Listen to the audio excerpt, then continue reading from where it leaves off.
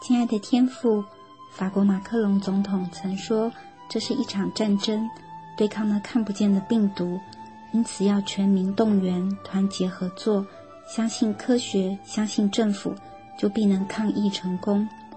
但我们单单仰望你的能力与恩典，止住全地的疫情，然后单单把感谢荣耀归给你。求你破碎人心的骄傲。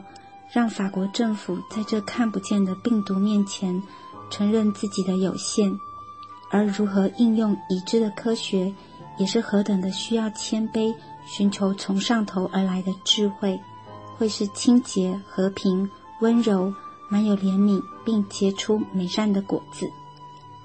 也求你开启全地的人属灵的眼睛，醒悟到还有一种无形的病毒更可怕。最深深的破坏我们与你之间的关系，带来终极的死亡。但是因着你的恩典，我们可以脱离这可怕的命运，死里逃生，在耶稣基督里得生命，得得更丰盛。求你公义的日头光照这地的黑暗，把人的脚引到平安的路上，领受你的医治与生命。祝福你的百姓在患难之日。力量不是微小的，而是靠主刚强得胜，去分享那叫人得生命的好消息。祷告、仰望、奉靠耶稣基督的名，阿门。